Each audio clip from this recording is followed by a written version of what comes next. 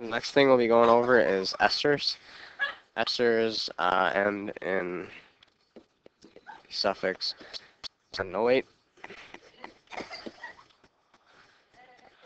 Um, example of an ester would be something like this.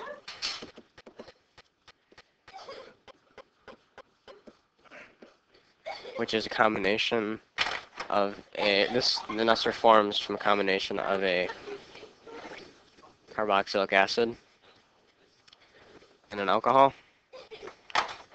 But the OH from the alcohol and the hydrogen right in here from the carboxylic acid uh, make water as a product, and then you have an ester.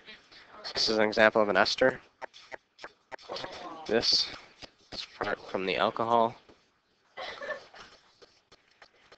and this is from the carboxylic carboxylic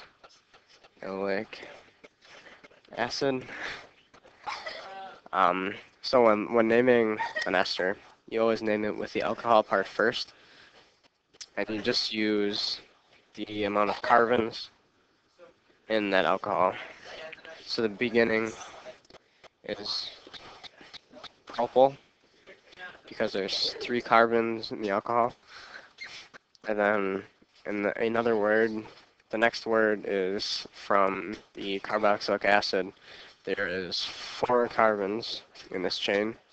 So that means it has a butte prefix, and then it ends in the anoate, as in for all esters.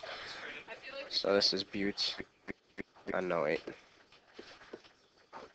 So this ester is an example of propyl butanoate.